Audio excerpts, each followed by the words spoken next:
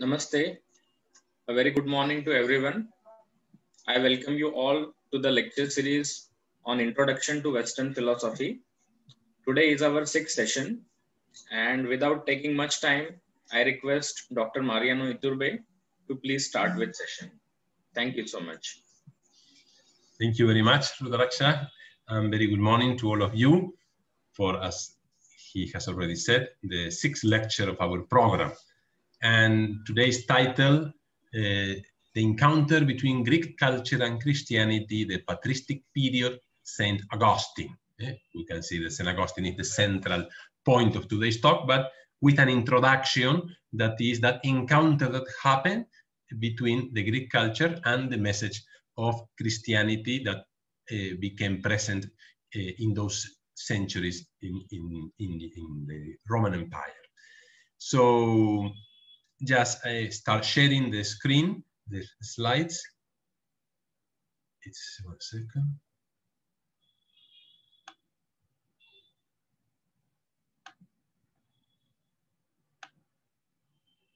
Okay.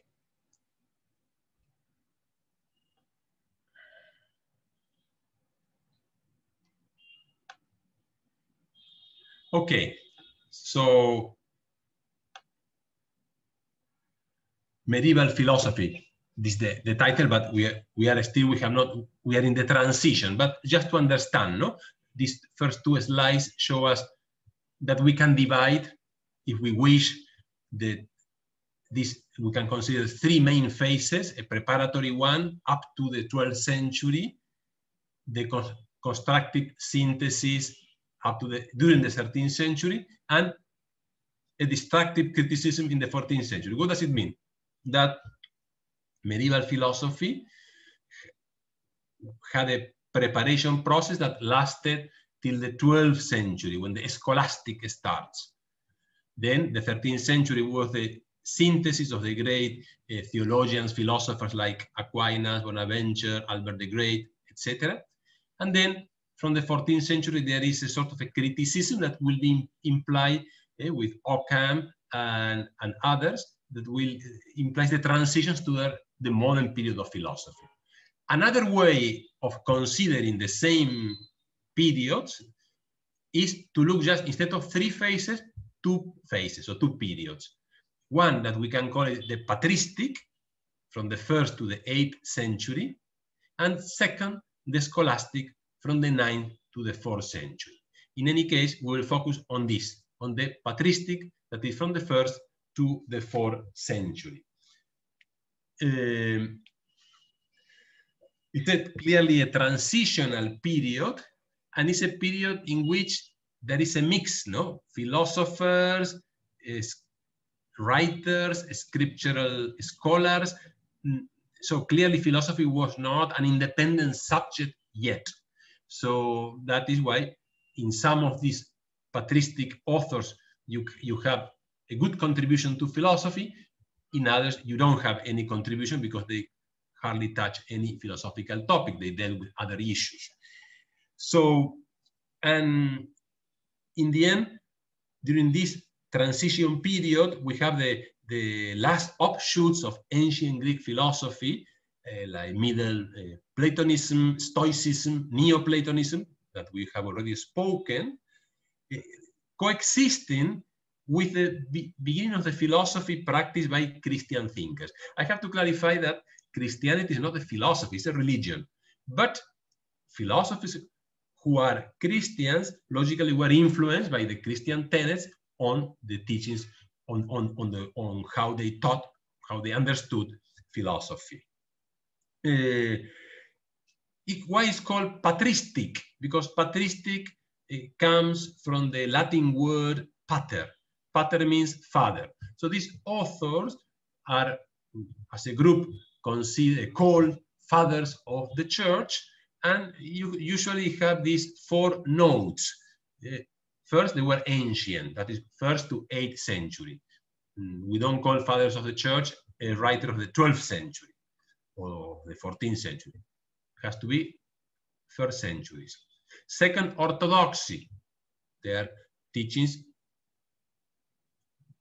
go together with Christian teachings. Third, holiness of life.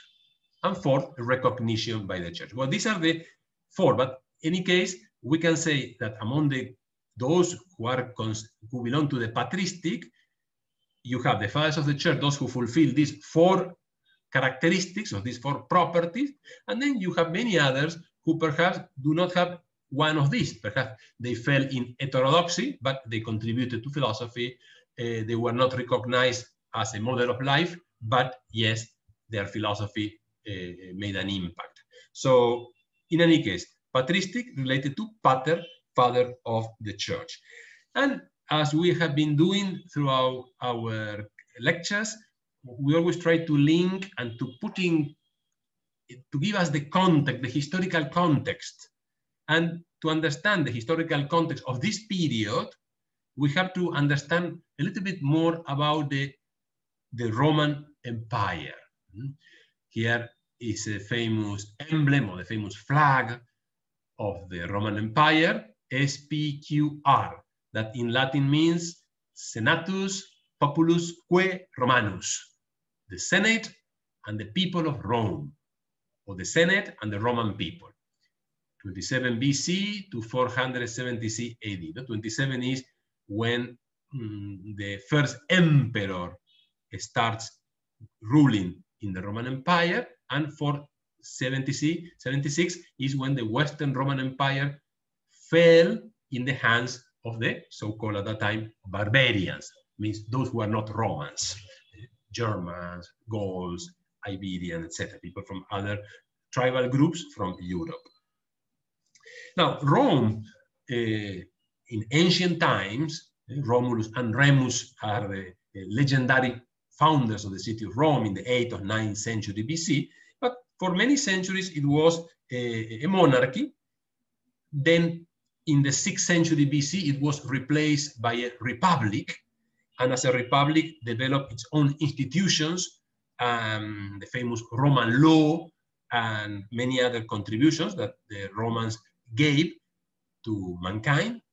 And, and then after uh, uh, almost in the first century BC, the Roman um, Republic was replaced by the Roman Empire. And that is the big change because uh, uh, the main characteristics of this new period is that instead of having very much a, go a, a, a government ruled by laws and by institutions was a, government ruled by a person. That person was the emperor, together with other persons who were important no? in the Senate and others, members of that uh, governing society. But the importance fell mainly on the hand, in the hands of uh, the emperor. So what had happened was that the Roman Republic that had lasted five centuries, I said from 6th century BC to the 1st century BC, was weakened by various wars, very, a lot of strife, and a very important moment was when the famous Julius Caesar was a general and a statesman uh, in Rome, but he was appointed as a perpetual dictator in the year 44 BC. But unfortunately for him, Julius Caesar, one month later, was assassinated by a group of, uh, of sen senators um, who didn't like his desires of, being, of having become a perpetual dictator. Then at that time, another general, Octavian, was battling, and there was the famous Battle of Actium in the 31st, uh, year 31st BC, in which Octa Octavian defeated Antony and Cleopatra Cleopatra was the queen of Egypt. And then Octavian managed to conquer Egypt, to annex Egypt to the Roman Empire. So after this great military uh, uh, triumph, the Roman Senate granted Octavian the honorific title of Augustus. Augustus means uh, supreme, um, and, and then he became, from that moment, the first emperor in the year 27 BC, the first emperor, master of the Roman world, And in addition to Rome and Egypt, he also um, had powers over Spain, what is nowadays France, at the time called Gaul, Syria, and more and more they were giving they were giving titles to him, maximum pontifex maximus, uh, the, the, greatest pontifex. Then the eighth month of the year was named after him. August come from Augustus, the, that emperor at the time. And uh, from that time, all emperors were called uh, called Augustus. One name plus Augustus, their own name plus Augustus. And here we have this uh, statue, beautiful statue, Imperator Caesar Augustus, Emperor Caesar Augustus. And so what I'm trying to show is that the transition from the Roman Republic to the Roman Empire was a transition that implied power, absolute power in the hands mainly of one person. Of course, that person will rule with the Senate, but every, whatever he wants to, to do, that will be done. So enormous political power. And together with that political power, geographical expansion. You see the Roman Empire had even more territory than the Persian Empire before, the Greek Empire before, etc.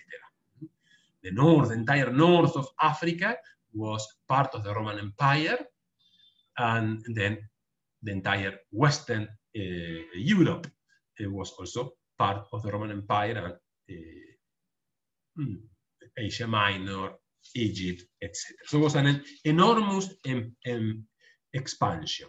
And during this, uh, and at the same time, was a, the, the emperor managed to bring peace and prosperity. And, and then what has happened? After giving so much power, so much dominion, and at the same time, success, he was obtaining success, where the figure of the emperor was deified.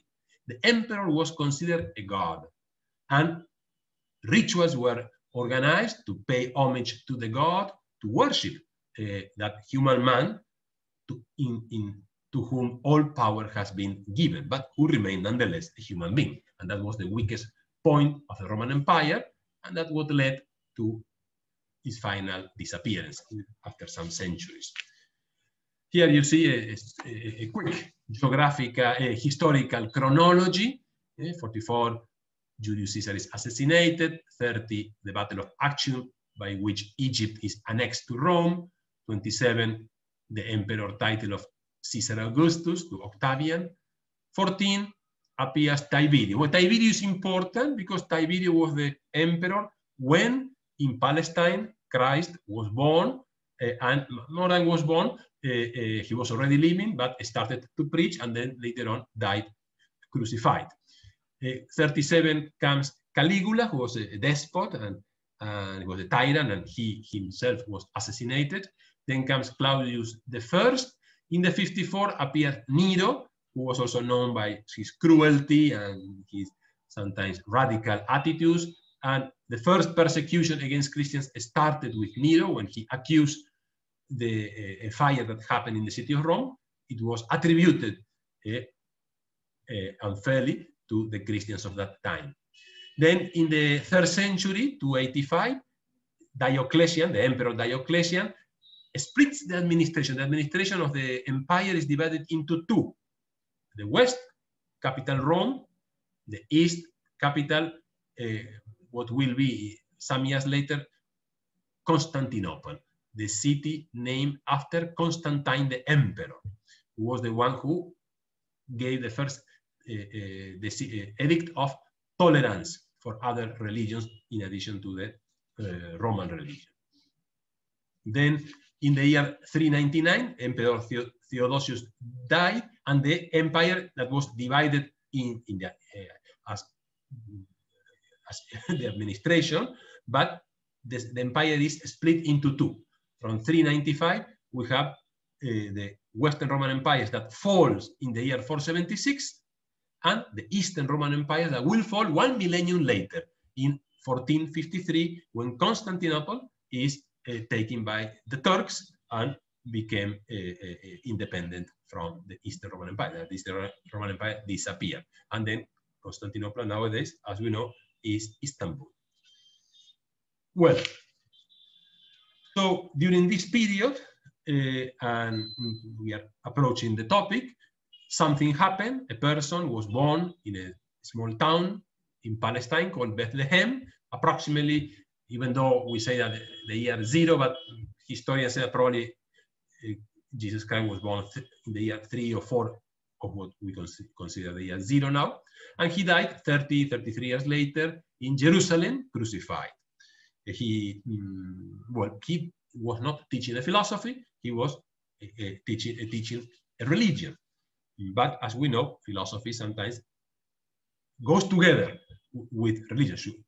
Each one is autonomous, each one has its own autonomy, but, uh, but they, are, they go together with religion and later on with theology.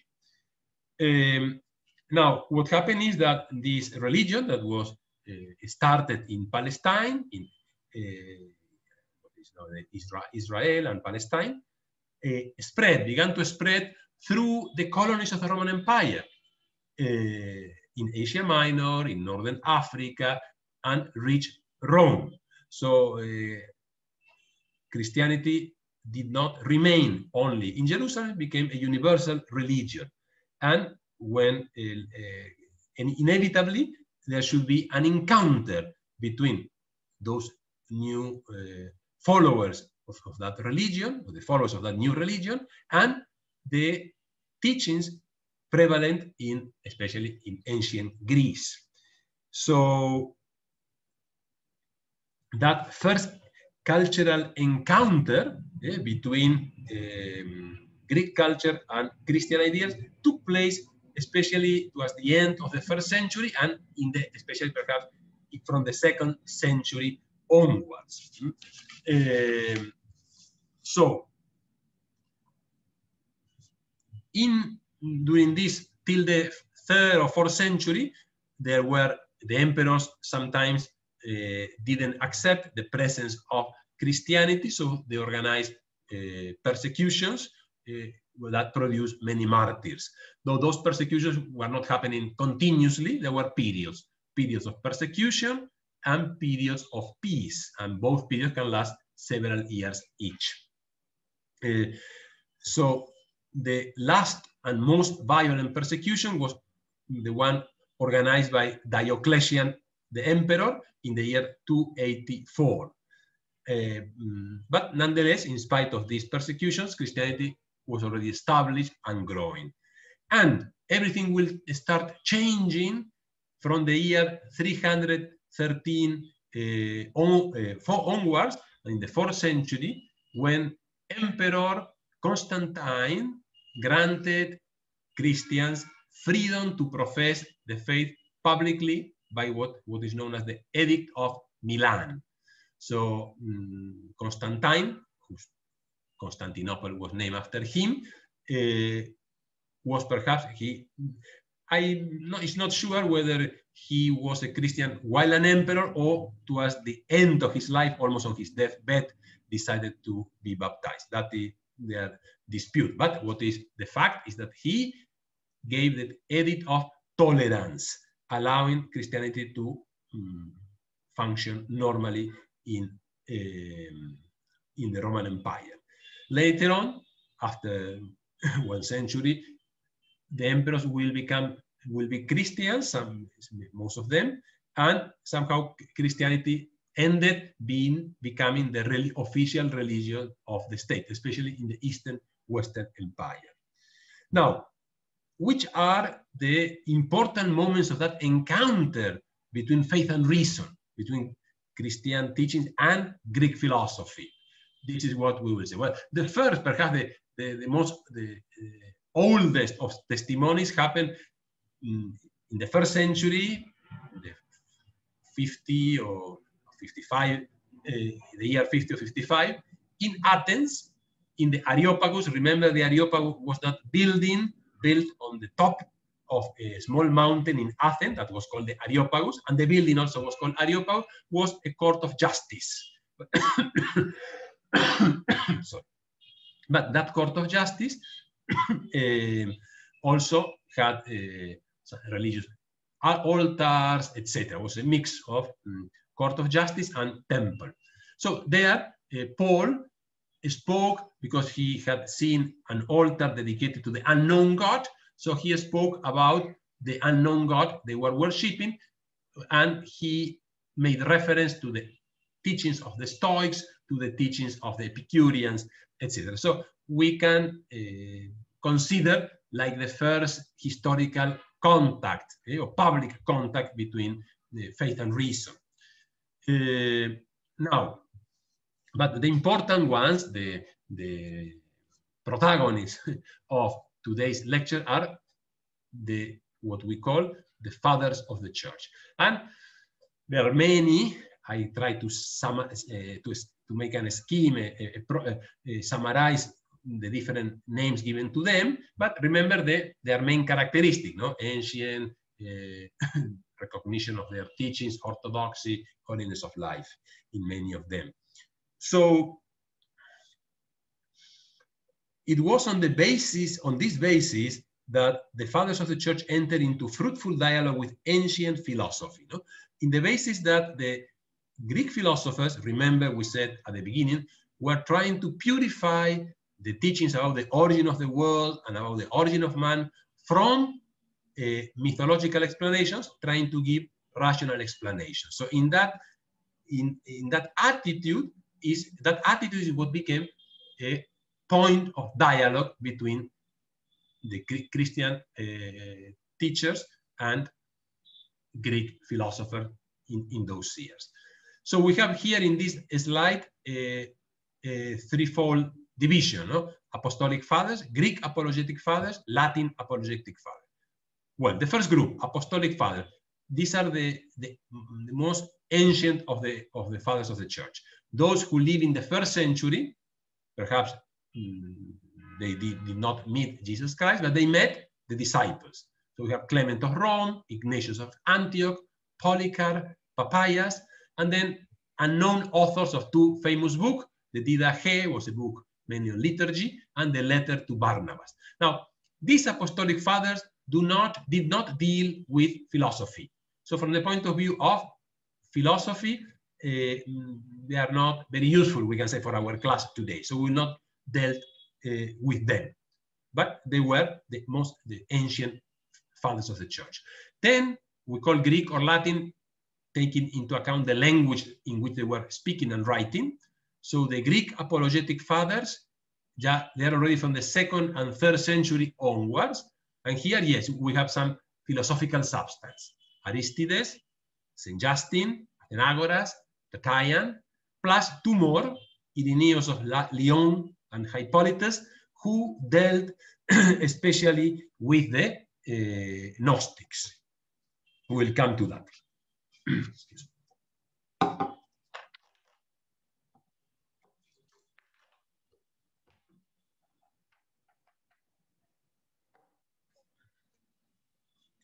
So the attitude of the fathers of the church towards philosophy uh, was cautious. First, because some of them will look down upon philosophy, especially when philosophy was trying to appear with a religious clothes. Uh, and others instead will have a positive approach to philosophy when they will see that that philosophy could serve as a preparation for the future faith. That was the, um, and sometimes, for instance, with Platonism, uh, while once these um, philosophical teachings were assumed by philosophers who are um, Christians, somehow were, there was a, a sort of transformation in the teachings of Plato or Aristotle, in the sense that those points that could clash with Christian orthodoxy were uh, re rewritten, were remade. So,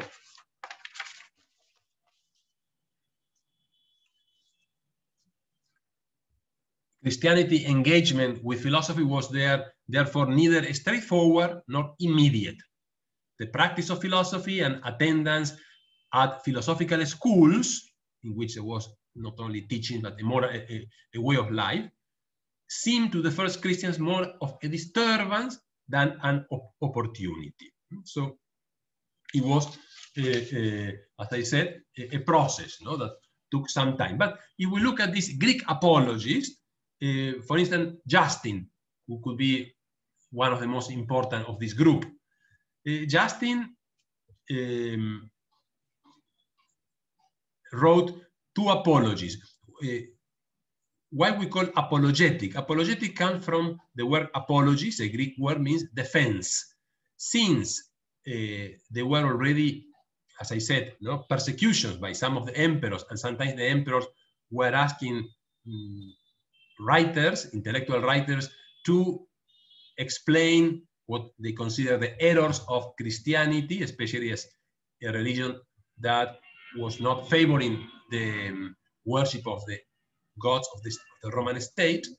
Um, these some authors, sponsored by the emperors, tried to well, wrote books attacking this new faith.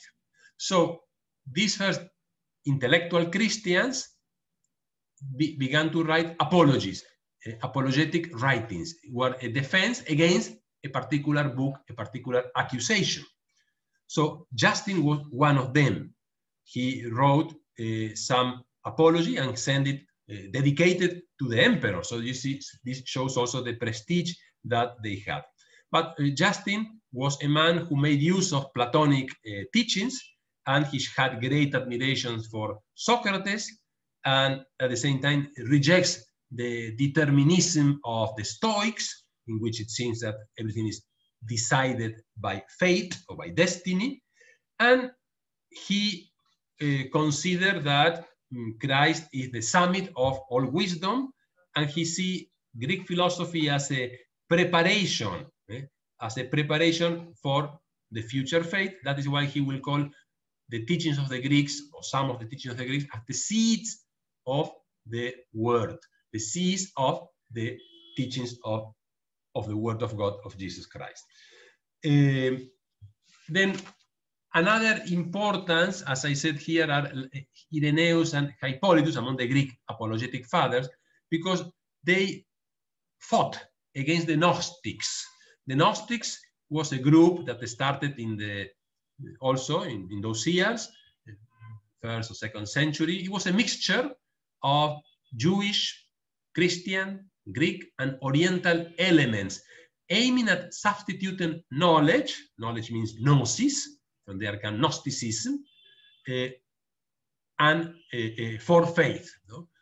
So they deal with the concept of God, creation, evil, salvation, etc. They consider that knowledge was reserved for an elite of people, for a small group of people, not for everyone.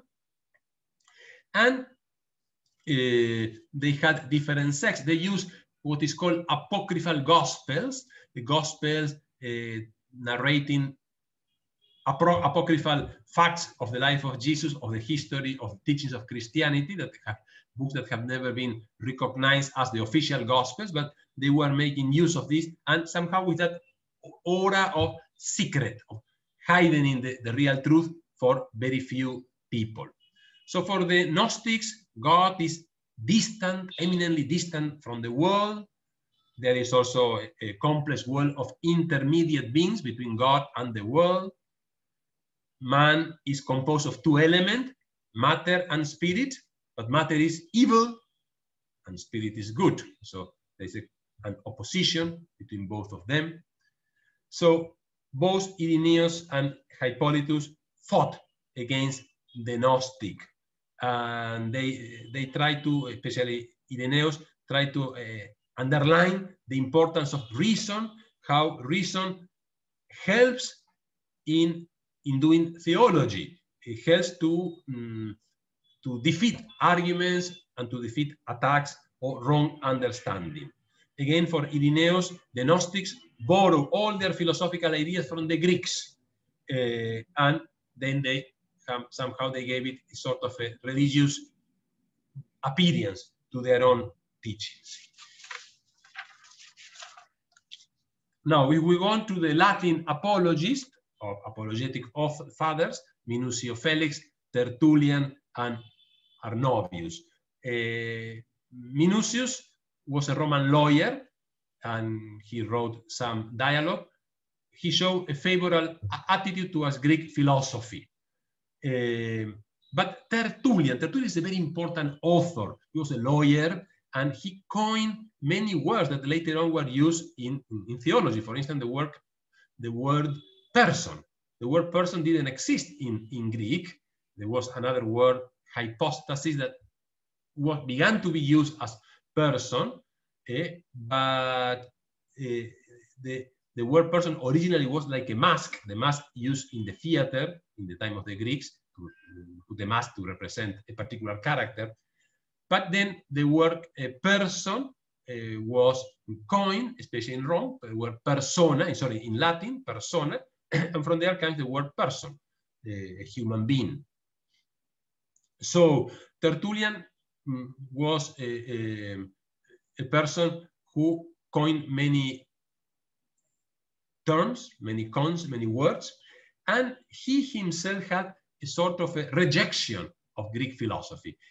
He, in fact, Tertullian, though he was a Christian, ended his life joining a Gnostic sect, the sect of the Montanists, very uh, rigorist, and in which somehow they were looking a little bit like uh, especially chosen uh, by God to fulfill their own mission.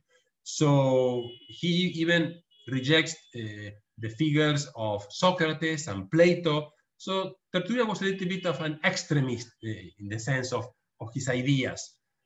um, and so much so that he ended, even though trying to defend what he considered orthodoxy, he ended heterodox himself. He ended uh, outside in the, in the Christianity. But he clearly contributed a lot to many theological points, and as I said, developed help in the de development of terminology, Latin terminology that later on was used for uh, theology and philosophy. And Arnobius, uh, he wrote a book about uh, the soul, and he considered the soul was directly created by God. We, this is an important point later on for St. Augustine.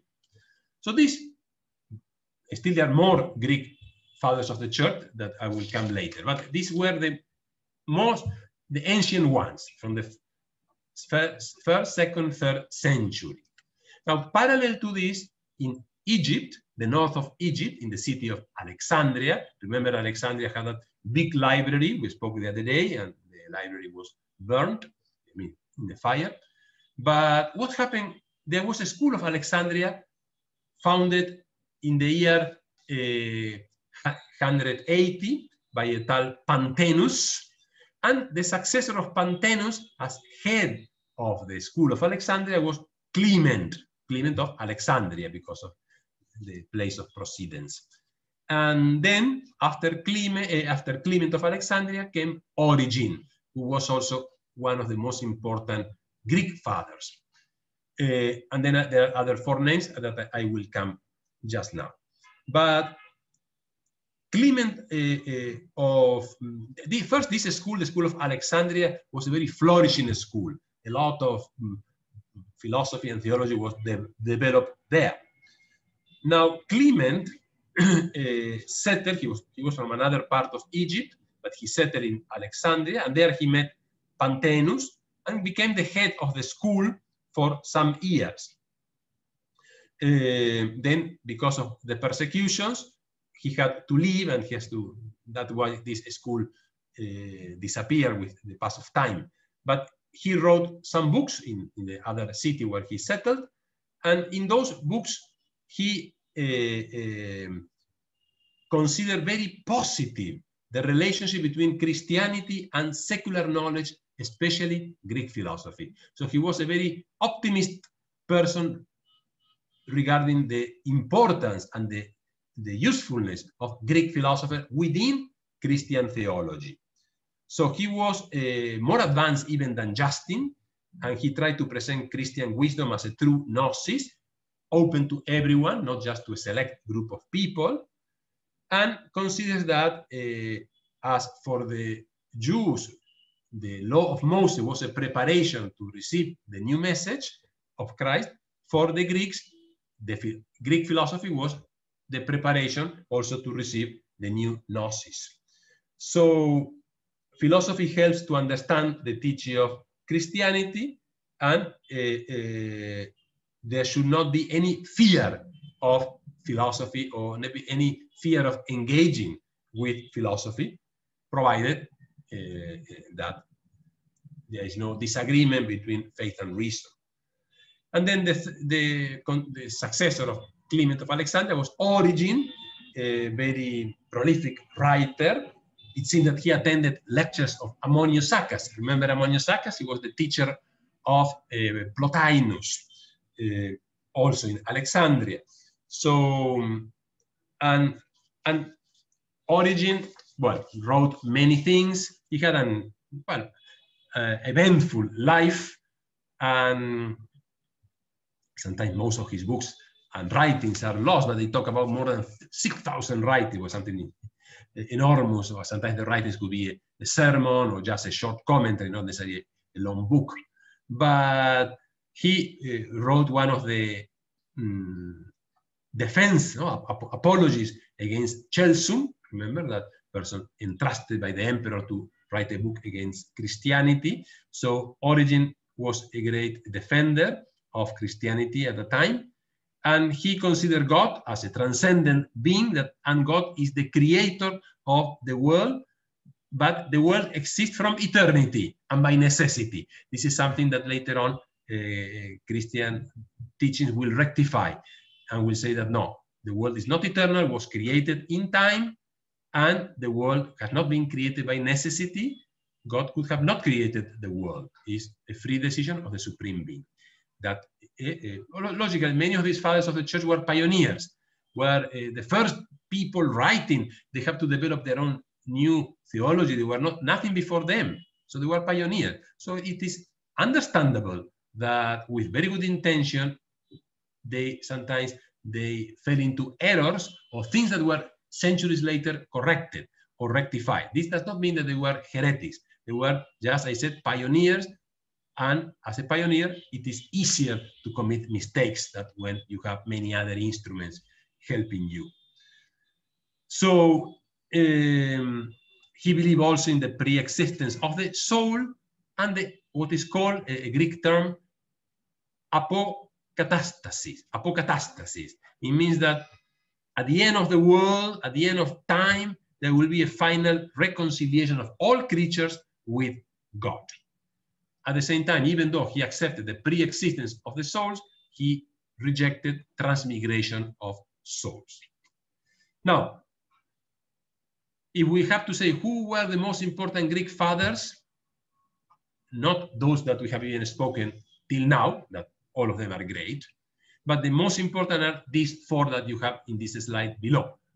Athanasius, Basil the Great, Gregory Nazianzus, and John Chrysostom. Eh? So mm, why? Why also they were able to write and to expose their ideas in a better situation? Because there was peace in the empire. By the fourth and fifth century, the persecution had stopped. So peace allowed freedom, or freedom allowed peace, and peace allowed theology. Eh? The creation of schools, writing books. The previous also were doing, but logically they have to fight against an hostile environment.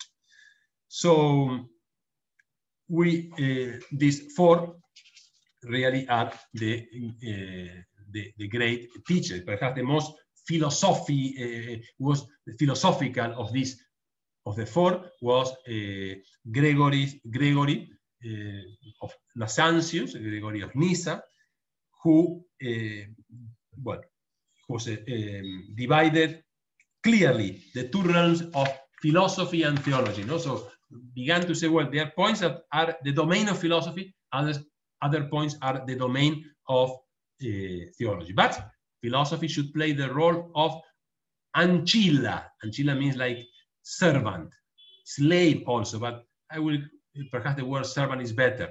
Uh, philosophy has an ancillary role. The philosophia ancilla theologiae, the Latins, the medievals will say. The philosophy is a, a tool for doing theology. Uh, Gregory understood that it is possible to demonstrate rationally the existence of God, not only uh, with revelation, but also from a rational point of view. This later on will give, uh, will prepare the path for the rational arguments about the existence of God, like the ontological argument developed by St. Anselm, then the rational proof developed by Aquinas, etc. Uh, so this is also very important, no? that yes, there is revelation, but there is also the power of reason, and reason and faith should go together. So Gregory developed a systematic mystical theology using uh, Plotinian and Philonic themes. So Gregory uh, was very important from that point of view, uh, the, the, the, the, point of view that philosophy and theology should be autonomous, though in a cooperative uh, way of working. And then we reach the Latin fathers of the church. Of course, we already mentioned some of them, Tertullian, uh, Arnobius, etc. But uh, the, the, again, in the fourth, fifth century, the most important were these four. There are others also, but the most important, these four. Okay. Augustine, Gregory, different from the previous Gregory, Jerome, and Ambrose. Augustine became a bishop, Gregory was a pope, Jerome was a Bible writer. In fact, he translated the Bible, uh, the Old Testament from Hebrew into Latin and the New Testament from Greek into Latin. And Ambrose, who was a bishop, very instrumental in the in Augustine joining the, the church. So St. Ambrose first. We will leave St. Augustine till the end because it will be the one that we explain more. Uh, St. Ambrose, who lived in Milan, in Italy, in the fourth century, he died in the year 397. Well, he shared the Roman attitude of interest in practical issues, ethical issues. He was very much influenced by Cicero, and he followed him in his way of dealing with the virtues. And he also paid attention to the teachings of the Stoics, the idea of happiness, uh, identified as possessing virtue. This also was Aristotle's idea. But this Stoic ideal of happiness in Ambrose will be linked to the ideal of eternal happiness uh, that is found, especially in the afterlife in, in, in God. No? Uh, in a document uh, of John Paul II, Fides et Ratio, about the relation between faith and reason, there is a, a, long quotation that I would like to share with you because it summarizes very well what we're talking about. Let's read it slowly. The ways in which the fathers of the East and West engaged the philosophical schools were therefore quite different, as we have already said.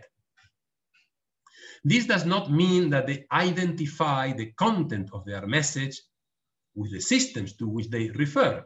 Stoicism, Epicureanism, Middle Platonism, Neoplatonism, etc. Does not mean that they were identified, no. It is therefore minimalizing and mistaken to restrict their work simply to the transposition of the truth of faith into philosophical categories. These fathers of the church did much more in fact, they succeeded in disclosing completely all that remained implicit and preliminary in the thinking of the great philosophers of antiquity. There was the task of showing how reason could rise to the higher planes of thought, providing a solid foundation for the perception of being, of the transcendent, and of the absolute. So this is uh, what we can consider the legacy of the fathers of the church. I have spoken about them. They start in the third century and they continue up to the eighth century. But their legal was that, no? They, they succeeded in disclosing completely all that remain implicit and preliminary in the thinking of the great philosophers of antiquity. So the fathers of the church really constructed a bridge that will link ancient philosophy or Greek philosophy in, in Western civilization to medieval philosophy. And part of that bridge, or the biggest bridge, is the are the teachings of Augustine, who really is the most important of the Latin uh, fathers of the church. So St. Augustine of Hippo. Hippo was a, a, town in the northern part of Africa, what is nowadays Algeria, was part of the African Roman province. He was born in 354, died in 470. 470. Uh, here it is painted together with his mother, Monica, uh, who was also very instrumental in the life of Augustine. He is the greatest of the Latin fathers, perhaps the greatest Christian philosopher of antiquity, even though the high caliber of the people we have mentioned just now. He exerted the deepest and most lasting influence. Someone said that almost in every quotation of theologians, Augustine will be present. It's a way of saying. But his authority in theological matters has been universally accepted by the, uh, uh, by, by the authority of the, of the church always. And his mm, prestige remain and his teachings remain alive in the Middle Ages and also in modern times, still, I would say, till today, but especially till the 19th century. In the 20th century, sometimes there were some points of disagreement or some uh, aspects that were not accepted by some schools or some authors somehow all of antiquity's philosophy converge in the work, in the thought of Augustine. And that is why his teachings will pervade the following centuries. And his teachings, since what if we say, was Augustine a philosopher or a theologian? He was both. Perhaps most of a theologian throughout the end of his life than a, and more, more of a philosopher during the beginning of his life, in the first decades of his life. To know about him and about the evolution of his thought, the best book is his own autobiography, known and with the title of Confessions, because there he narrates, and not only he narrates just to justify his life or to explain, no, from his interiority, how was his process of seeking the truth falling sometimes into errors, ideological or practical errors, and coming out of them. So this book deals with a lot of his own psychology, and it focuses on the mystery of, of his own self and on the mystery of God hiding in his own self.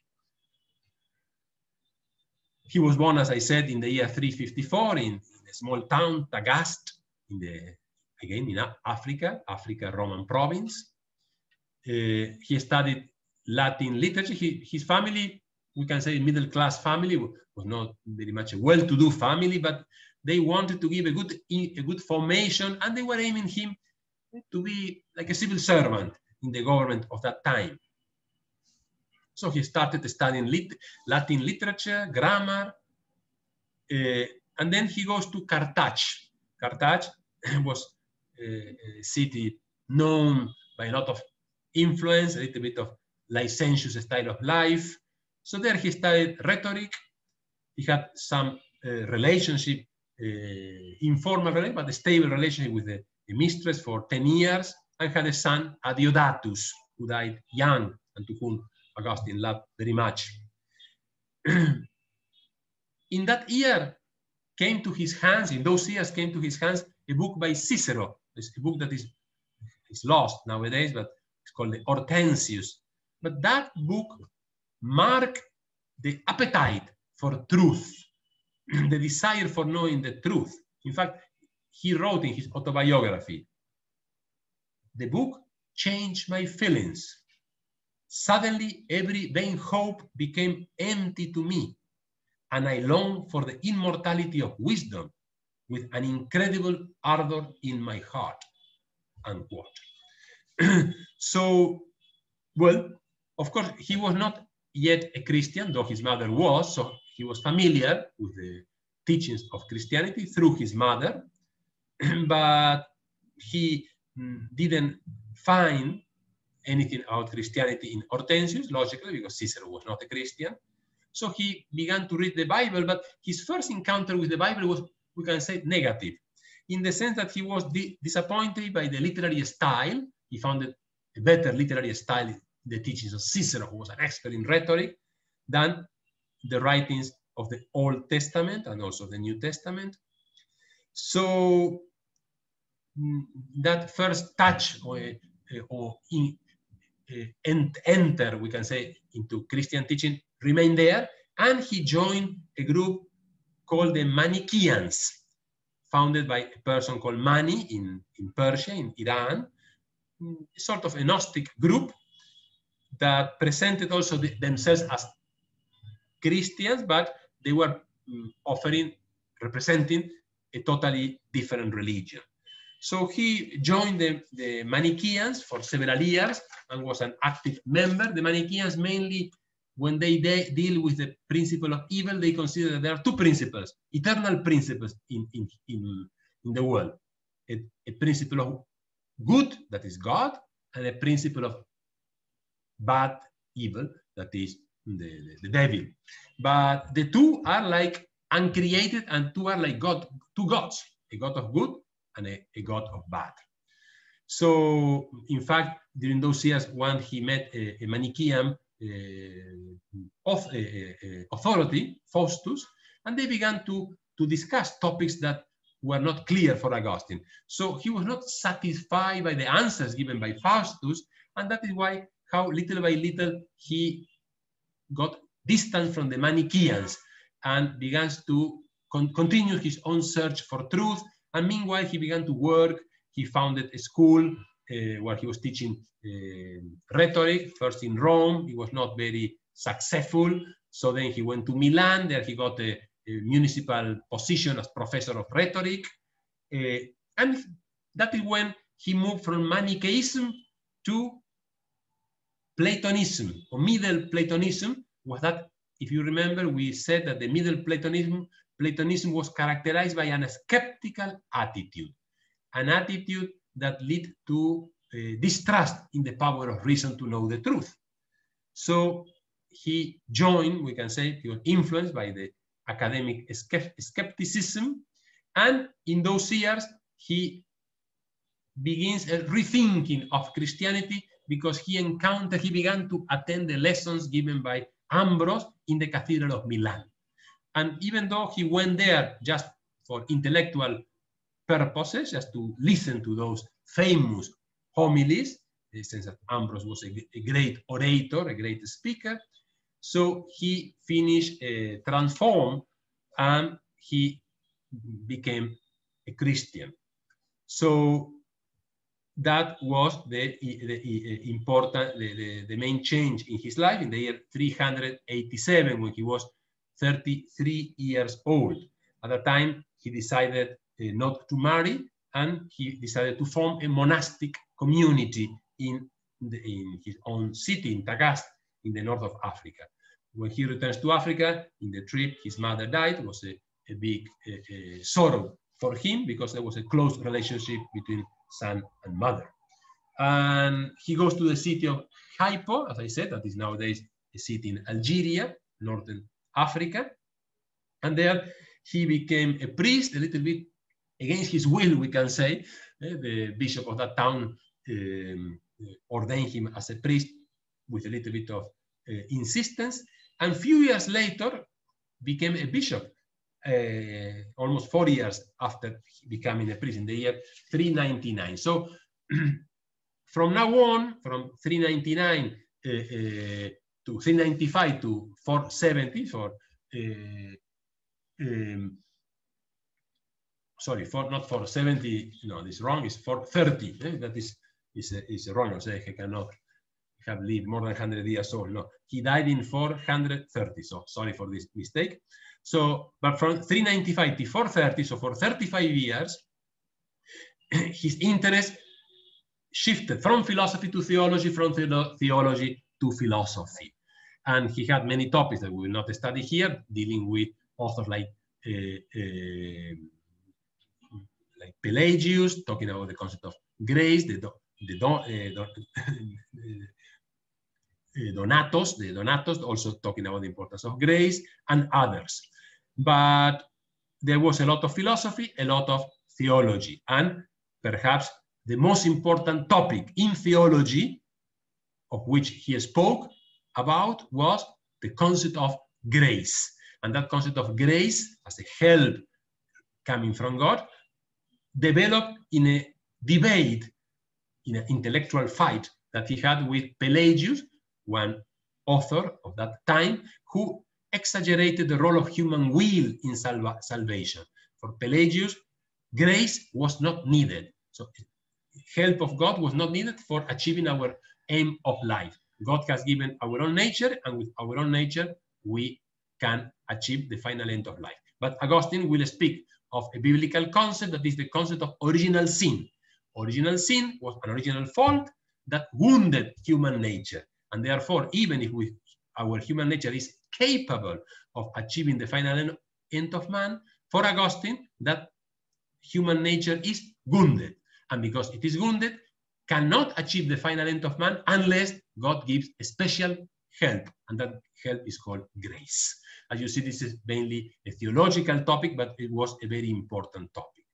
And then the last 20 years of his life, till 430, um, the Western Roman Empire was in a deep crisis, also a moral crisis, was uh, affected very much to the power of the Roman Empire, too much uh, lust for power and for pleasure. Uh, ended with the Roman Empire. The barbarians invaded in the year 410. 410, uh, Rome was sacked by Alaricus, a general, and that was something unbelievable. No? Rome, the greatest capital of the Roman Empire, uh, sacked by the barbarians. And uh, or even the city where Augustine uh, lived in, in Africa, in Hippo, was uh, sieged by the troop of Vandal and well, eventually ended in the power in the hands of the barbarian. And this gave a foster or facilitated the writing of the one of the most important books after the confession that is the city of god of which we will speak now so augustine here we have the book of the confessions as i said a beautiful book to be read worthwhile book to be read he wrote many many books i will not give the complete list it's unnecessary but perhaps the most important ones especially for philosophy also.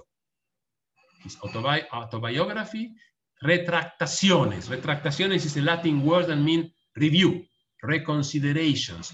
So Augustine, towards the end of his life, reread re re all his works and reconsidered some of his teachings after the various debates that he had and uh, after having going gone deeper into the teachings of Christianity. So eh, in some point, he there are like two teachings of Augustine, the one that he wrote at the beginning and the corrections that he added at the end, especially in topics related more to theology than to philosophy. This also shows his great uh, uh, human value, no? a person who was able to say, well, in this I was wrong, and I rectify now. Then the City of God, the Civitate Dei, that is, we can say book dealing with political philosophy and history, the Trinitati about the Holy Trinity, purely theological book, Doctrina Christiana about Christian doctrine, sort of a catechism, a, Narraciones in Salmos, a commentary on the book of the Old Testament that is called the collection of Psalms, text uh, uh, of praise and text, text of prayer. And then contra académicos, contra académicos, against the academicians, the academians, the, uh, against the skepticism was perhaps the ancient extant book written by Augustine that is kept about the happy life, beata vita, happiness, immortality of the soul, and about on freedom. So you see, uh, in fact, nowadays there are at least more than 100 books that written by him, more than 300 letters, and more than 500 sermons, homilies that have survived. And if we divide all his books into topics, we see there are books that are philosophical, others that are apologetic, doctrinal, moral, monastic, exegetic, against heresies, letters, and sermons. These are the uh, nine uh, genres, eh, literary genres that are used by, uh, by Augustine. Now, of course, many of his books also are polemic, no, in the sense that they were debates in which he engaged himself. Augustine was not a polemic person in the sense that he was always look, looking for a fight, but he was a person who will defend the truth. He himself spent all his life seeking the truth and changing from here to there till he found the truth. He was convinced that, of the truth, that logically he had a, lot of ardor, a lot of uh, capacity to defend the truth and to enter into dialogue, sometimes debates with those who are opposing the truth. Um, so he poses against, again, all philosophical questions about the true nature of the human being and the first principle of reality. So again, he goes back, we can say, to the pre-Socratic, to the famous arche. But when we talk about the philosophical sources of St. Augustine, clearly Plato influence is the most important, important one. And not, not only Plato, but perhaps more than Plato, the Neoplatonic Plotinus. He had a great admiration, a great uh, love also for the teachings of Plotinus. And some of this, top, this topic will be discussed also from a theological point of, of view. As I said, that the Hortensius by Cicerone uh, played a very important role and a great influence on his life, uh, also because mm, was a source of, of knowledge for, for, for Augustine about Stoicism, about skepticism, and about academic Platonic teachings. He also read the categories of, of uh, Aristotle, the book on logic, and from the point of view of, of the Bible, the New Testament, the, the letters of St. Paul, who, are, who have a, lot of uh, theology behind, uh, were also an important influence on his teaching. So, so for, for Augustine, to know the truth was not an, a mere, merely academic exercise. No? For him, truth leads to happiness. And human being has the capacity to grasp things, to grasp the knowledge. So he rejected skepticism.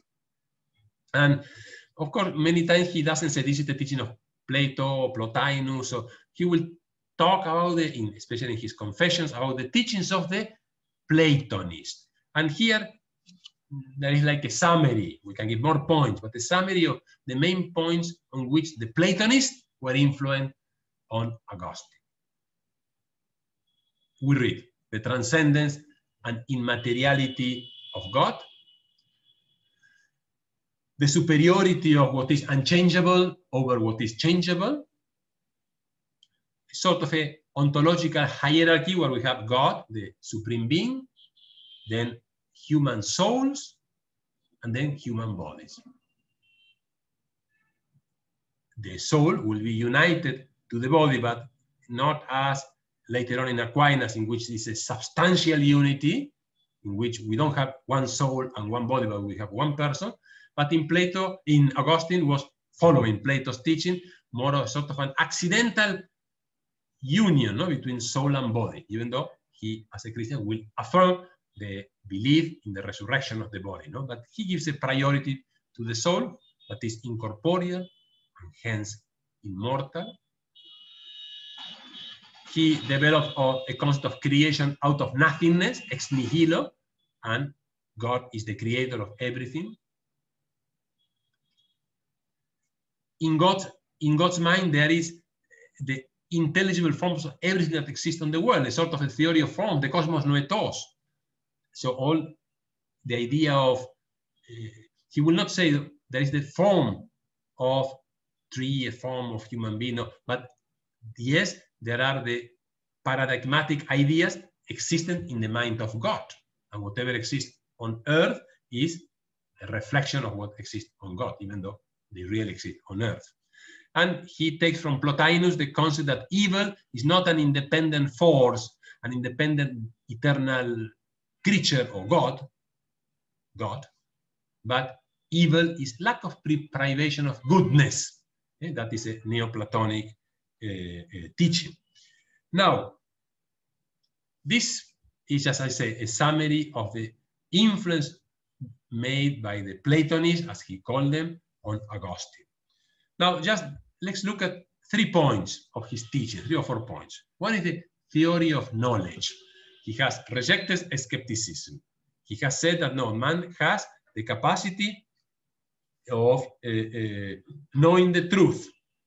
And it's interesting that his earliest extant book against the academics is this one.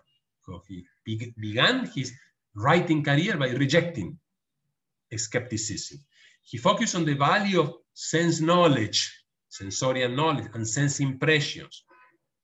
For him, Platonism is a source of true knowledge.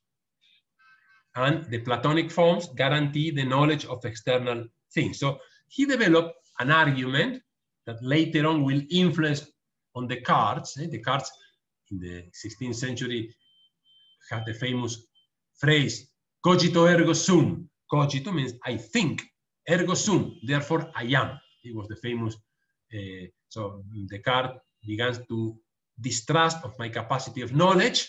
So I say, I cannot know, how can I know things that are true or, or, or false? But there is something I cannot deny. If I think, therefore I am. Because if I, if I am not, I cannot think.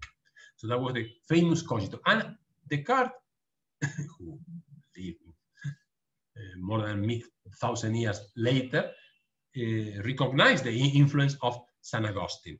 Uh, St. Augustine um, argument was not cogito ergo sum, but his uh, phrase was si enim fallor sum. That means, uh, will come now, uh, if even if I what I say is wrong, I am. Si enim fallor, even if what I say is wrong, fallor, therefore I am, sum, ergo sum. So this was the argument. So somehow Augustine, like Descartes later on, tried to establish an area that is exempted from any skeptical doubt. Well, I doubt of everything. I doubt of this, I doubt of this tradition, I doubt of that teaching, but there is something of I cannot die, that I am, that I exist, because I'm thinking even if what I'm thinking is wrong. So that was his argument, and it has been supported by Augustine throughout all his life. So he defends the value of sense perception, that is an act of the soul using the sense organs and sense perception give us practical knowledge, sometimes can fail because of some defect in our organs, but usually provide us with the accurate knowledge of basic things. But the highest level of knowledge is wisdom, contemplation of the eternal things. So that is why uh, man, mind, has an important role to teach us those eternal truth and exemplary ideas that exist in God. And uh, here is the original theory of knowledge developed by Augustine that is called the theory of illumination. So here, the first paragraph is a revision of what I said. Earliest extant books contra academics, academicos, rejects skepticism, and then his argument of no about knowledge, si enim fallor in Latin, sum. If I were in error while uttering this proposition, it is true that I exist. And now comes the theory of illumination. Uh, he says that there is a light coming from God, which illuminates the mind. God is the intelligible light in whom and by whom and through whom all things which are luminous to the intellect become luminous to us also. So clearly there is an echo of that uh, theory of the sun in Plato. Uh, the sun was like the good, illuminating everything that exists on earth. And through the light, the illumination of the sun over the rest of the ideas, human being is able to know. That was Plato. But here, uh, Augustine, the change that does is that for him is not the sun illuminated the ideas, but is that God grants a special light, and through that light, my mind can know. No, it's like a, if God switch off, switches on a, a bulb, an electrical switch in our mind, and then we can know. Well, I have to say that later on, we will see it in Aquinas, but Aquinas does not uh, rejects the idea that God switches on a light, but he will say, no, God has given us the capacity to illuminate ourselves, and that is the action of the intellect that illuminates themselves the concept provided by the senses and abstracted by our reason. That is Thomas Aquinas, who somehow rejects this theory of knowledge of, Aqu of Augustine. But for Augustine, the idea was that, that God mm, eh, illuminate in our mind, so the ideas, so that we can know the truth. So clearly, this theory of knowledge of Augustine is a manifestation of Neoplatonic uh, influence, and it accepts or it sustains that knowledge uh, to be true requires first-hand acquaintance instead of uh, second-hand information. We need a, a, first-hand acquaintance, and that first-hand acquaintance comes through that uh, illumination. Or also he will say that Christ is like the magister, the teacher. Somehow he's present in our soul, certifying that our knowledge is true. so these two elements, illumination and the, the teachings of Christ in our own soul as a guarantee for knowledge is what Augustine teaches. As I said, throughout the centuries, this will be rectified and mm, especially with Aquinas, it will be affirmed that the, our own mind is the one that illuminates the mm, material provided by our senses. So this does not mean, of course, that for Aquinas, for Augustine, human knowledge remains totally dependent on divine action, no? like uh, God does not switch on the light, we are ignorant of everything. No, uh, this somehow is talking about the importance of interiority.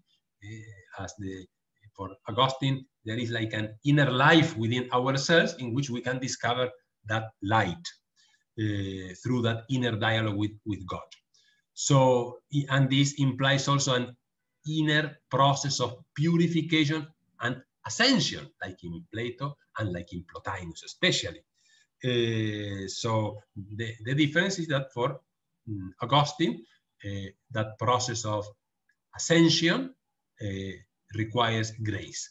In the case of Plotinus, remember that process of ascension was purely human effort, human struggle.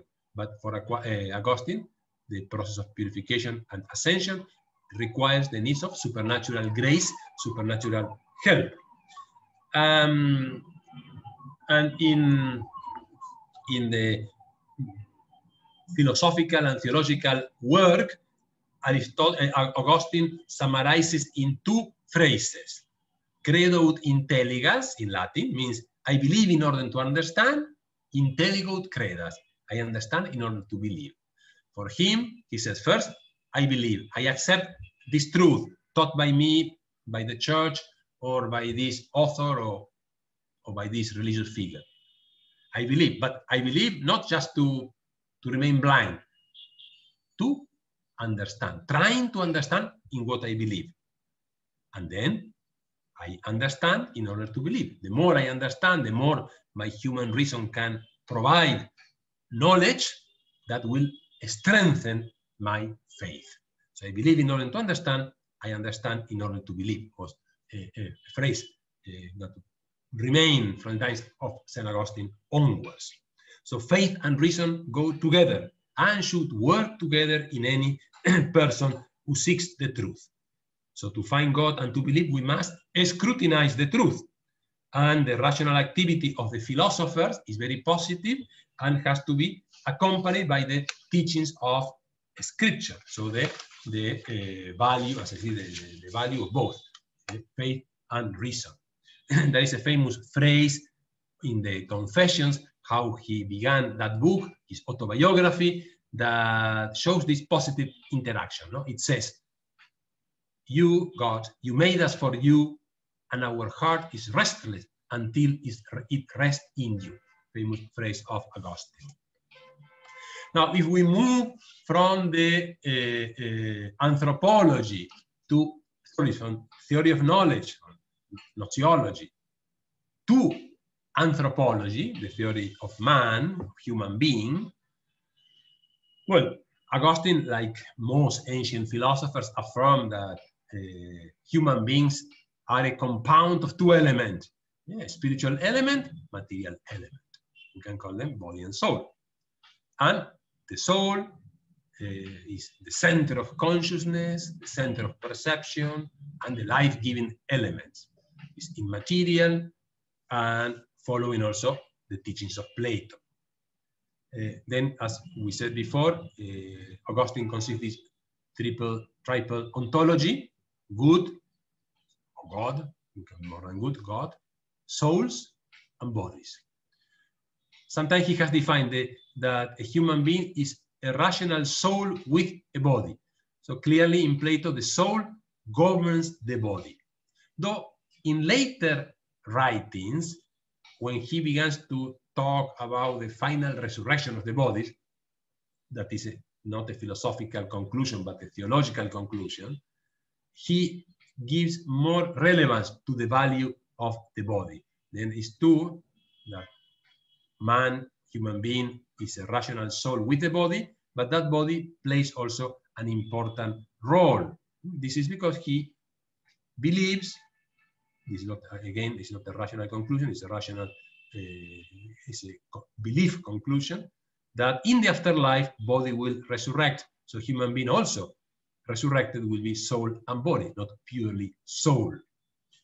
Um, so he had a clear anthropological vision, and for him, these two elements, soul and body, should be in perfect harmony. But as I said at the beginning, he accepted the idea of original fall. This original fall comes from the Bible, from the book of Genesis. But also in Plato, there is a fall. Remember, human beings, we were uh, souls, uh, pre-existent souls that after a, a, particular moment there was a, a fall, so rational fall by which human beings, uh, the human soul became embodied to a particular body.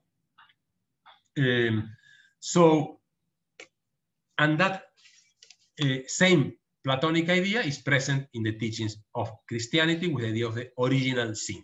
That means that after the original sin, there is a sort of disturbance in the among in between the union between soul and body, and it's like a combat. No, after the fall of humanity, there is a dramatic war between one another, between soul and body.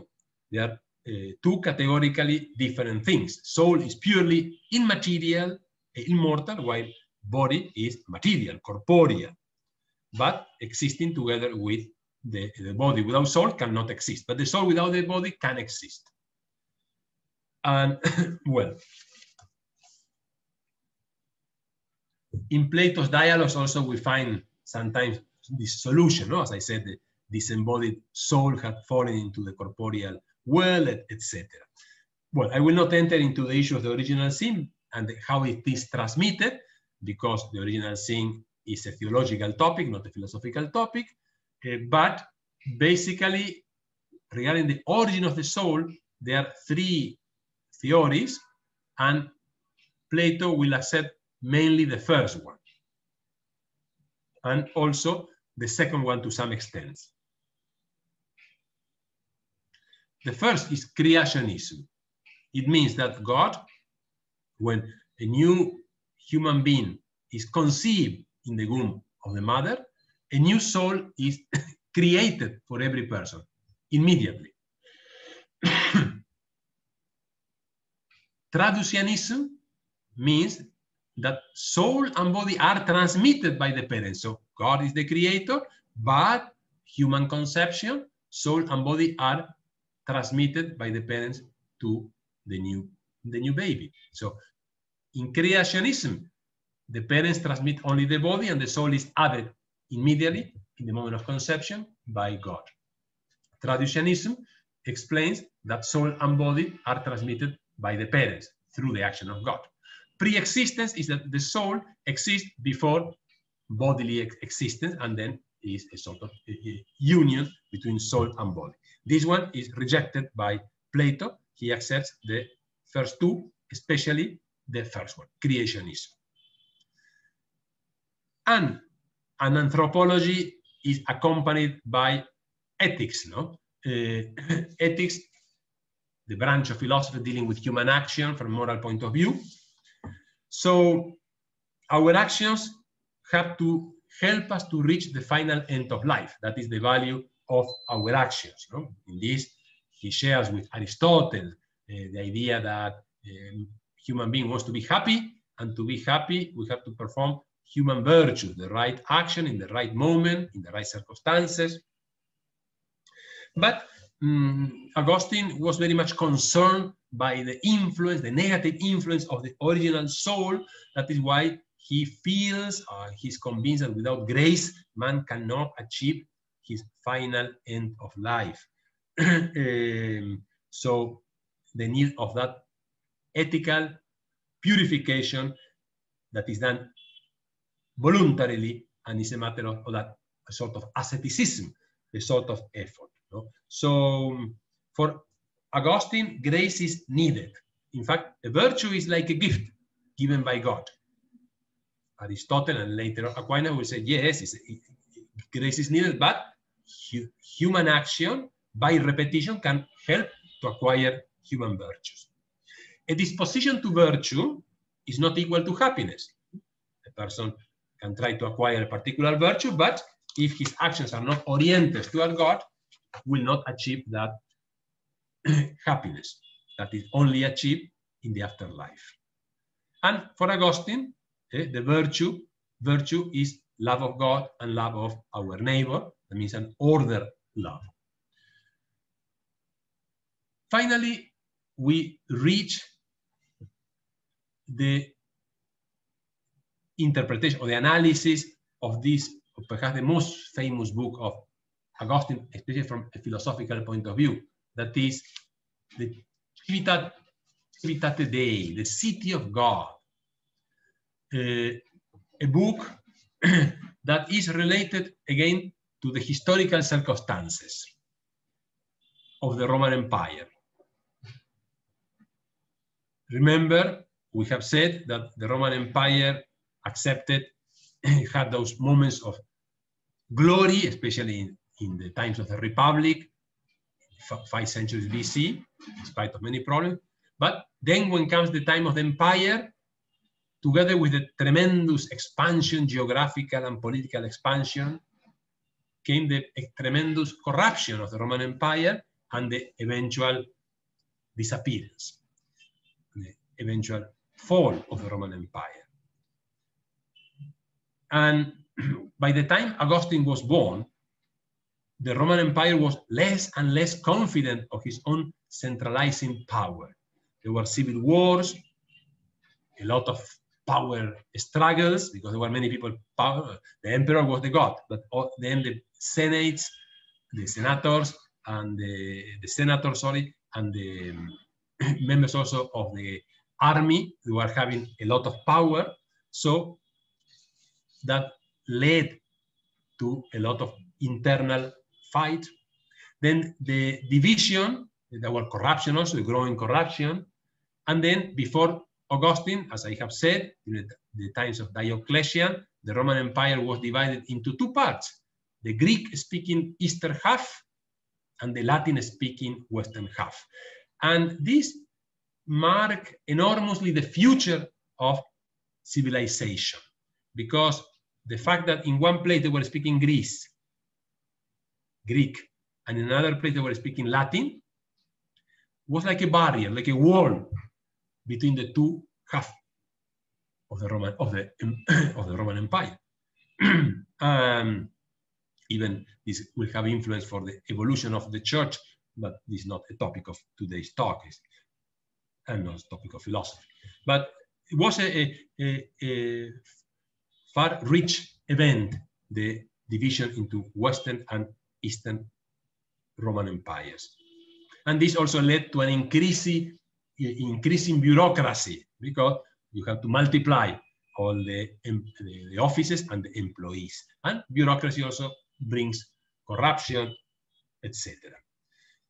Uh, Constantine, the emperor who fostered, uh, gave the Edict of Tolerance and who allowed Christianity to act freely in the em empire, was put, considered as a mo role model emperor, especially by one historian called Eusebius of Caesarea.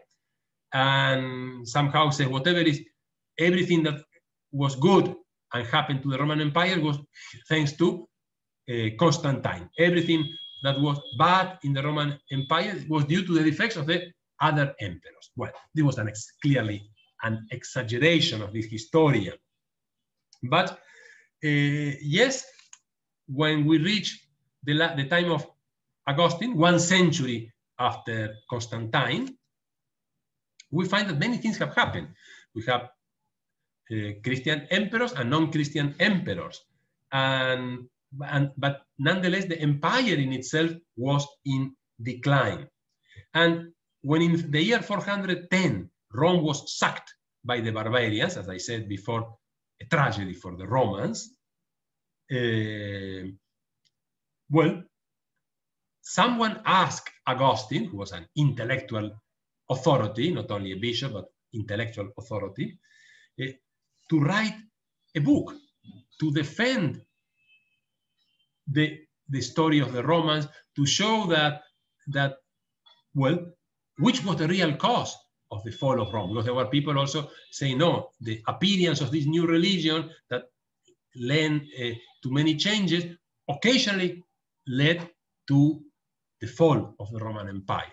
Augustine in the City of God will try to show that no, what happened was that the same corruption and the, say, the same uh, uh,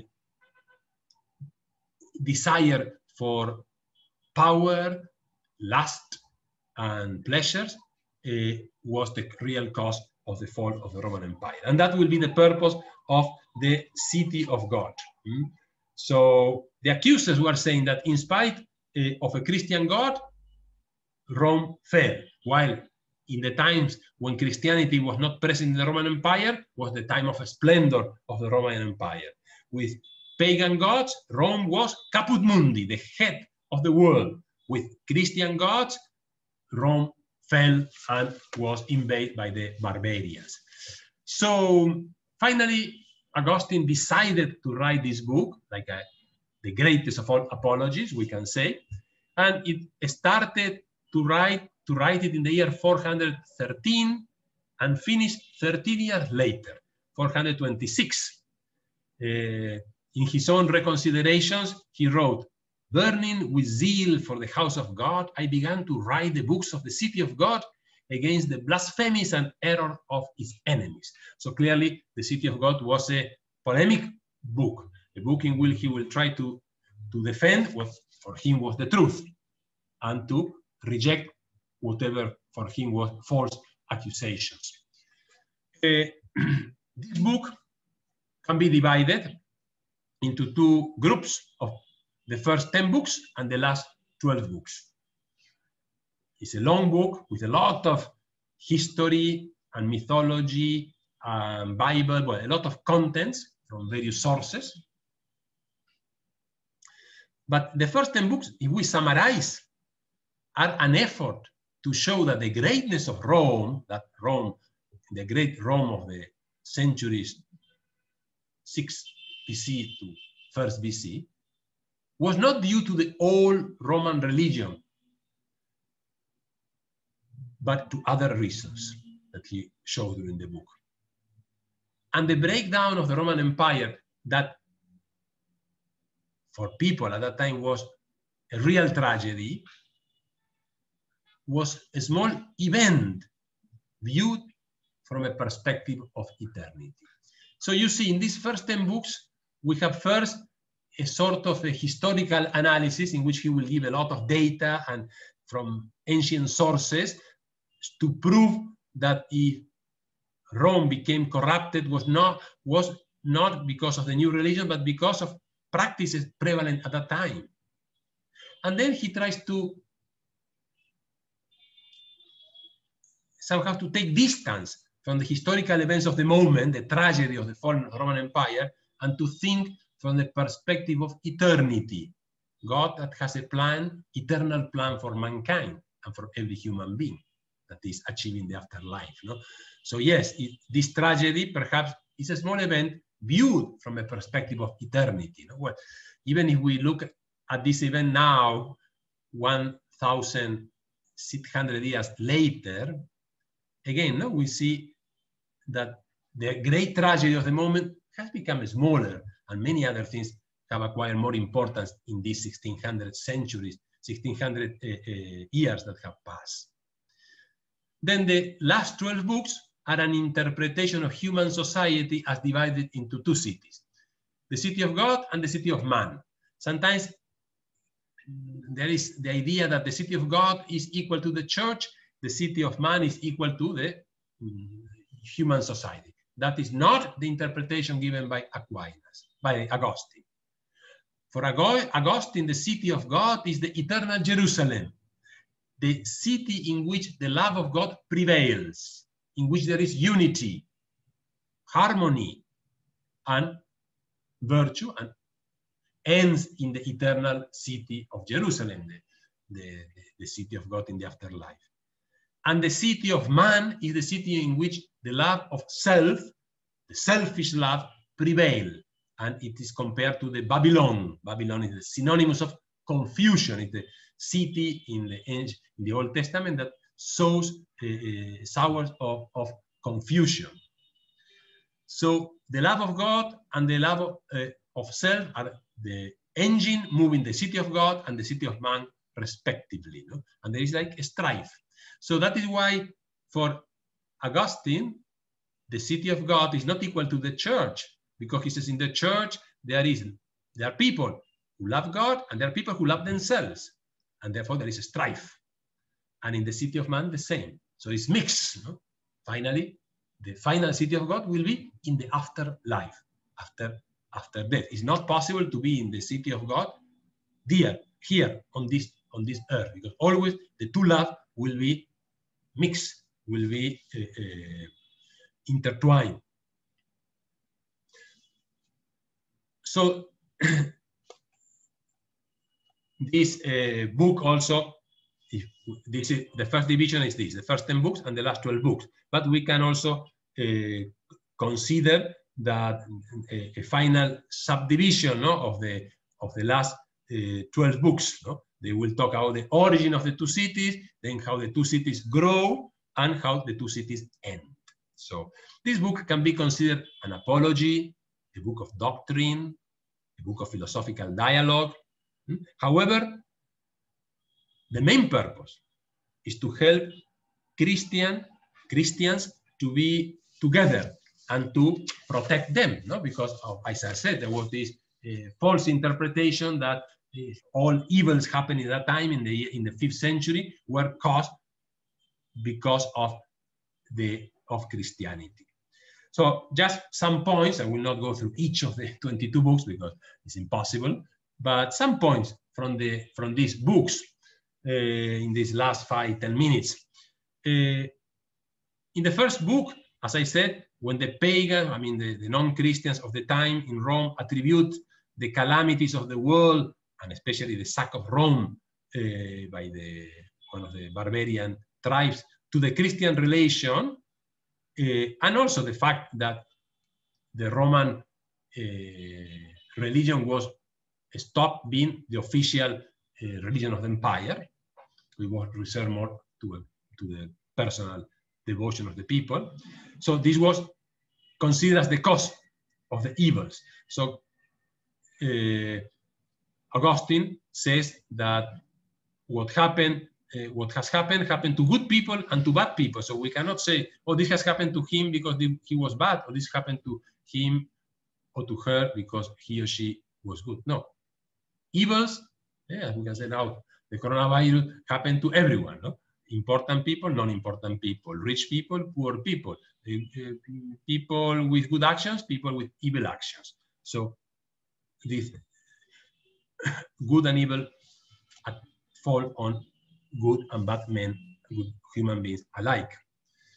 Uh, Augustine reviews also those calamities with a lot of information, with the Roman suffer before the time of Christ. So it's an interesting book about to know human uh, Roman history uh, before the Roman Empire, and demonstrate that far from being preserved from misfortune, the Romans have seen uh, um, that have been overwhelmed no?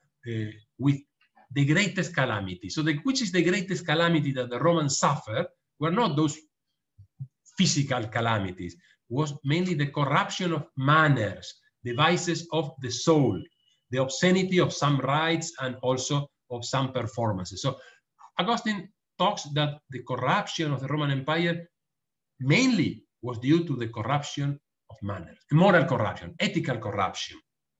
And that was the real, the real cause. I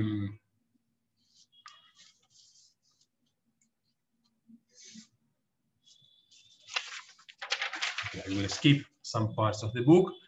When we go to the second part of the, the, the final, no, the, the, last 12 books, uh, he begins this second part, which deals with the origin, history, and destinies of the two cities, the city of man and the city of God, the earthly city, the heavenly city.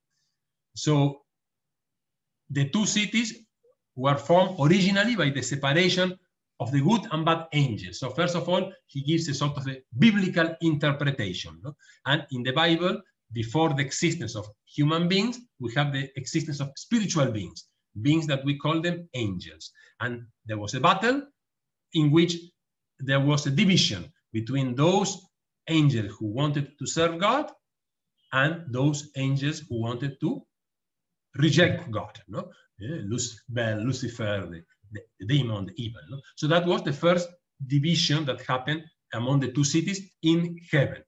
Um, then the other division will be already when, in the book of Genesis, when he talks about the origin of, um, of, the creation of the world, in which appear the first couple, Adam and Eve, and then the children coming from Adam and Eve, Cain and Abel. No? And uh, Abel representing the good, and the, the the good city, the city of, of the people with good actions, and uh, Cain representing, Cain is the one who killed his brother and uh, uh, represents the, those who perform evil actions. So the two cities were formed originally by the separation of good and bad angels and then good and bad people. So also he uh, well he links the cause of death to the cause to the fact of the original sin that he has uh, uh, spoken. Augustine considers that original sin as a, a, type of a vice related to lust, perhaps. Later on, uh, theologians will consider the original sin more as a sin of pride, a fault of pride, of want to be like gods. Uh, but having treated in the preceding books of the origin of the two cities, Augustine begins to explain how they grew, how they, they, they, they uh, develop, how they, they, their progress. No? Um, and well, here is a long story, as I said, very much based on biblical sources. Uh, and so I, I will skip that part. And reaching towards the end, for instance, book 19, one of the four last book of the City of God, um, he discussed the end of the two cities. Before was the before was the origin of the city. Now was the end of those cities. Um, and he will review the opinions of the philosopher regarding the supreme supreme good. Sorry, I touch something. Uh,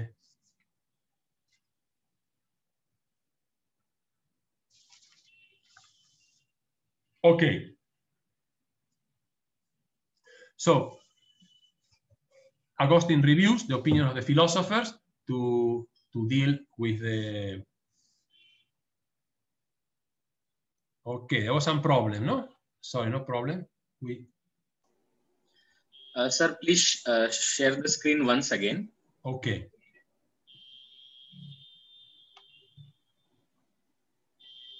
Uh, host disable participant screen sharing. Have you? Uh, please try now. I try now. Yes, now I can.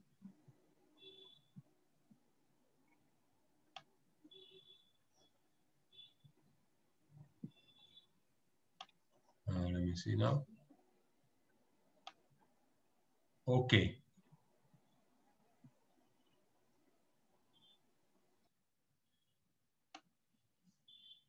Okay, no? Now it's okay?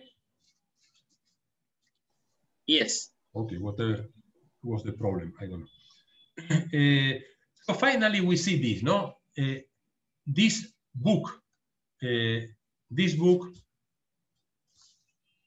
this book treats of the end of the city of God, that is to say, the eternal happiness of the saints. In the end, what is the city of God?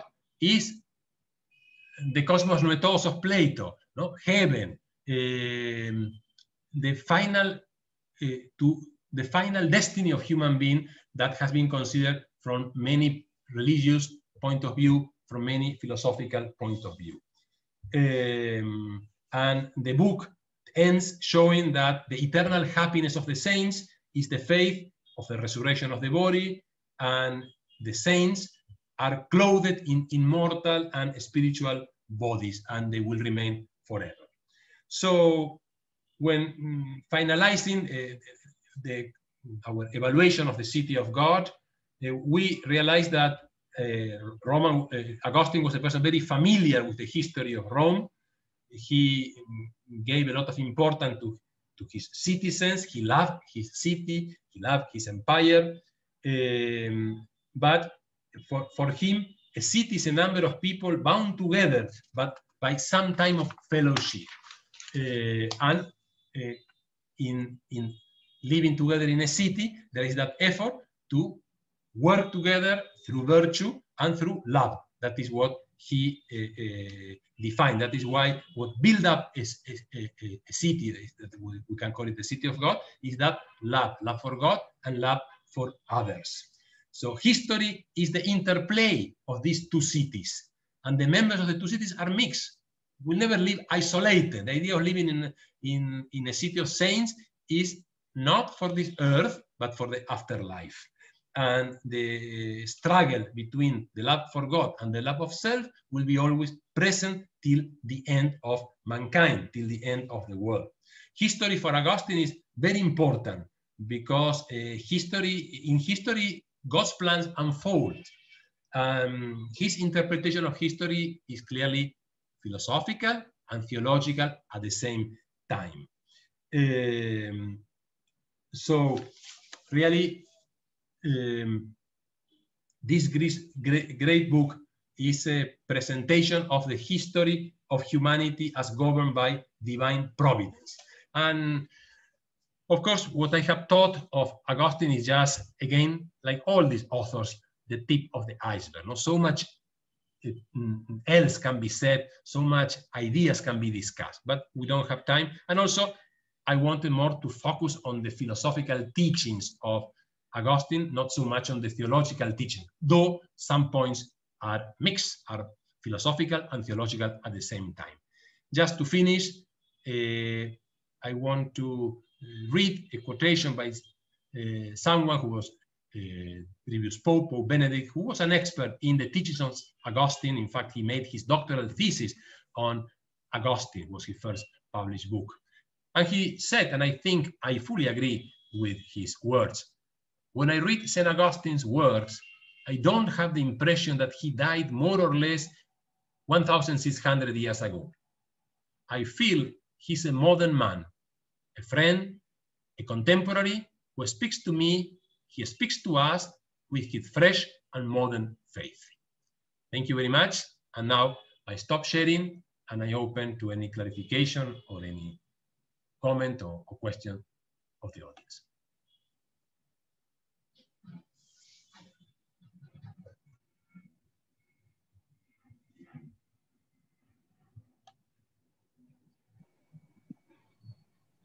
Thank you so much, sir.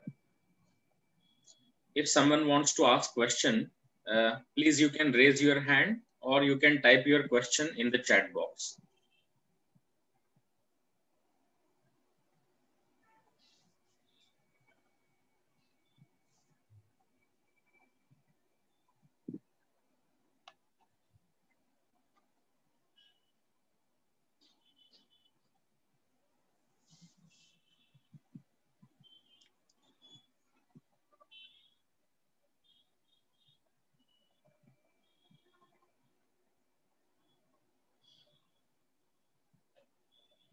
Just one thing uh, to add is that I have not explained because it's not, in, it's not part of our topic, but in the 16th century, when the, during the Pro, uh, Protestant Reformation by Luther uh, in Germany, uh, well, one of the points was the study uh, of the interpretation of the teachings of St. Augustine on grace and on human freedom. No? That was the, very much debated at that time. Okay, that is not a topic. it's not a philosophical topic.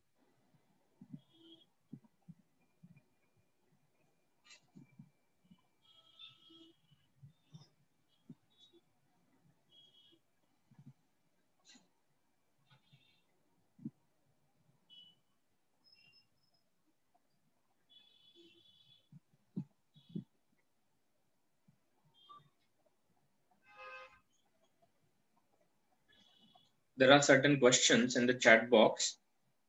Uh, there is one question. Is the final truth of Western philosophers similar to that of Indian? The final, well, I think, I think yes, no? Uh, let's see. Truth is one. If I said, this is a watch, what is the truth of this object? That is a watch. I can define it from one point of view, I can mention it from another point of view, but I always will reach one truth. Uh, this is a very simple example, no? But uh, what is truth? No, truth is the truth of our life, the truth of the world in which we live, and the truth of an absolute being, if there is or not. So if I accept, if I believe that there is an absolute being, that truth will be to know him to be united and to be identified. Then how is that knowledge, how is that identification will be explained in different ways by Indian philosophy, by Western philosophy, within Western philosophy, by uh, Greek philosophy, by Christian philosopher. So they, but I think the truth is the same. There is another question about Saint Augustine uh, was he canonized with the title of sainthood? Yes, he was canonized with the title of sainthood, and later on he was given the uh, title of Doctor of the Church.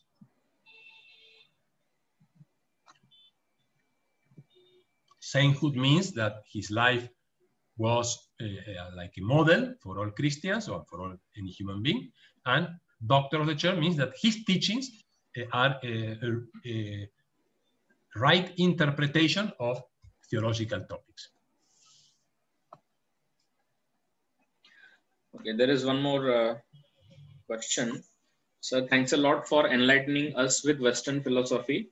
We heard a lot about Greek gods and goddesses like Apollo, uh, Athena, etc. Has any of the philosophy, sorry, Homer's Iliad and Odyssey, is it the mythology of Greece what is Western mythology? Is Bible Old Testament considered as mythology? Okay, well, there are many questions here, no? Uh, if I grasp the question, first is, what is the mythology of the Greeks? Uh, well, when we talk about Homer and his famous two books, Iliad and Odyssey, yes, those are mythological books that talk about the origin of the world, making use or creating myths that were prevalent at that time. So the, that is why the first philosopher that we said it in the first class, the first Greek philosopher, the pre-Socratics, are called first philosophers because they try to find out answers to the origin of the world, not from the myth, but from their own rational explanations. Now, in addition to the mythologies of the Greeks, uh, you have other mythologies, the mythology of the Romans, that in many things go together, and also the barbarian tribes that later on joined Europe. Also, they were having their own myth. In the end, what is a myth? It's an explanation about the origin of the world, about the origin of God, about the origin of mankind, but based on what? On traditions, on legends, etc. No, that not uh, not perhaps do not belong to uh, are not philosophical. Now, the other question is whether the Bible also has myth. Well, the Bible uh, sometimes makes use of teachings that were prevalent at that time. So the Bible is not a book that was written by someone from the beginning to the end at once. It was a book that evolved throughout the centuries and was sometimes a collection of books that perhaps were written or some books were written by someone else. And uh, sometimes they make use, but that is why the Bible has to be read. Uh, each book of the Bible has to be read according to its own nature. The Genesis, that is the first book of the Bible and is a narration of the origin of the world, the first three books cannot be read literally, like understanding each word literally and taking, eh, so uh, God created the world in seven days. Oh, then I have to understand, no, this is a way of explaining. That means that God created the world uh, not at once, but little by little. Now, one day was 24 hours. No, well, the science will tell me, not the Bible. The science will tell me that that day lasted millions of years, whatever. The different periods of the creation of the world, no, of the, evol of, uh, of the evolution of the world. So uh, that is why each book. But when I have a book about the the life of Christ, for instance, the crucifixion of Christ, that is pure history that happened and is not only proved by by the Bible but other sources. So each book of the Bible belongs to a different genre and has to be interpreted accordingly. There is one more question. When reason and faith go together, then can we say that faith may not contradict reason, but reason always cannot provide the proof for religious revelation? Can you repeat, please? When reason and faith go together, then can we say that faith may not contradict reason, but reason always cannot provide proof for religious revelation. Well, uh, in the relationship between faith and reason, at least within a Christian uh, framework, faith is given preeminence in the sense that if it's not that faith contradicts reason, that if reason contradicts faith, in principle there should be some uh, uh, unfounded opposition, and we have to find out which is the solution. Some argument, uh, some wrong argument, some wrong conclusion, etc. Uh, faith, uh, as, as remember that what, what, that Latin phrase that I put, no? Credo ut intelligas, intelligo ut, ut creda. So first I believe. I believe in this. I believe in, for instance, in Christianity we have the the teaching of the that God is one and three, the Trinity. So first I believe God is one and three. Then I apply my reason, trying to understand how it is possible that one person is one and at the same time three. So, and that uh, belief, uh, that in, uh, rational interpretation helps me to strengthen my faith. And that strengthen faith helps to continue with the rational task. It's a living task, it's a living work, the interaction between faith and reason. But at, at least from a Christian point of view, faith has the priority. Okay, but uh, uh, can we frame the question in the other way? Like, for example, rational thinking means we we have have to have some logic behind everything. So, yes. is it possible to give logic for all the things which we have uh, in our faith? So can we uh, can we provide the logic or the rational thinking for everything that we uh, have faith on? I think this yes. is the question. Okay. Yes. The, the thing is also we have to distinguish be, between the object of faith. Some object of faith are within our mental capability. So reason can prove, can give the valid arguments to prove the rationality of that faith statement. For they say God exists, well, I can develop the philosophical arguments to prove that God exists. But very often those uh, uh, philosophical arguments will not be the cause by which I believe. I believe because I believe, no, because of special grace. But that rational ex explanation, logical explanation, help me to show the feasibility of that tenet, uh, theological tenet or Bible tenet. Other uh, um, uh, theological or religious tenets that are fruit of faith, for instance, the one of, of, of the Blessed Trinity in Christianity, can never be reached with our mind. It's beyond our mind capacity. We only know it because of revelation. And reason, what can help is to prove, not to prove that truth, but to prove that that truth is not absurd and can be valid. Okay. That is the role of reason. Mm. With truth that are beyond our human capability, our rational capability. So these were the questions for today. So I think uh, it is time. So uh, we will stop here. I thank once again to Dr. Mariano Iturbe and all the participants for joining for today's session. Uh, our next session will be on next Monday, that is 23rd. And I request all the participants to again join for the Monday session. Thank you so much for joining us. Most welcome. And thank you to all of you. I'm looking forward to meeting you again on Monday. Thank you.